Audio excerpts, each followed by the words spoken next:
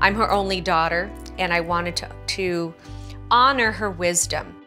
I wanted to write the book really for my children that never knew her, my younger children, for my nieces and nephews to help them know some of the values that she taught me, some of the principles that I thought were important.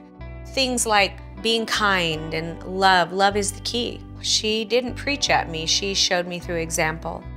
And she instilled in me those kinds of values that long term thinking, consequences of actions, um, just being good and kind.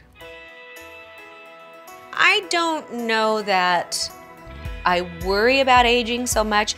Yes, I'm getting older, but I was raised to enjoy every decade.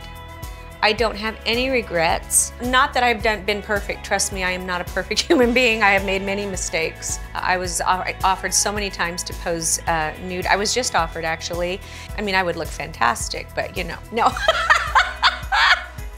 I would never go back to being in my 20s or my 30s or my 40s.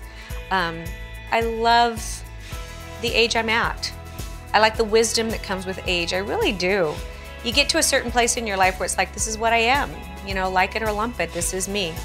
And it's nice to feel that.